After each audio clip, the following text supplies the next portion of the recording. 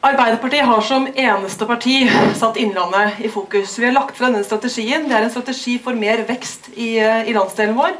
Der vi gjennom en mer aktiv næringspolitikk, mer aktiv distriktspolitikk, fortsatt omfordeling mellom kommunene, satsing på mer forskning og på mer infrastruktur, skal fortsette å gjøre vårt for å få Innlandet ut av uh, oljeskyggen. Der, jeg synes denne Debatten her viser at dette valget er et retningsvalg for, for Innlandet.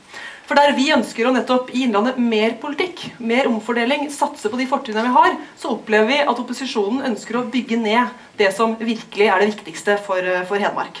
Det er en veldig farlig strategi som vil føre til et dårligere velferdstilbud i kommunene når de svekkes eh, i kommuneøkonomien.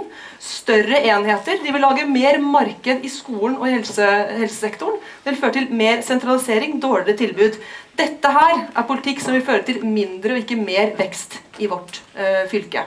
Den veksten som er den viktigste for Arbeiderpartiet å satse på, det er alltid oppveksten. Derfor så slår vi ring rundt fellesskolen. Vi har sagt at vi skal pusse opp 40 skoler i Hedmark de neste åra. Vi skal videreutdanne 4000 lærere i året. Vi slår ring om pappapermen. Vi skal ha to barnehageopptak i året fortsette å styrke eh, barnevernet og fortsette å få ned frafallet i videregående skole, som er ekstremt viktig for Hedmark. Vi rød-grønne har de siste åtte åra vist at vi har et prosjekt og vi har en plan og vi har en retning. Vi satser de store penga på fellesskapet, på skole, på helse, på å skape arbeidsplasser. Alternativet er et blått, blått kaos der det eneste vi vet, er at Siv Jensen kommer til å komme i regjering som vil føre en økonomisk politikk som vil være, eh, vil være fatalt for Innlandet.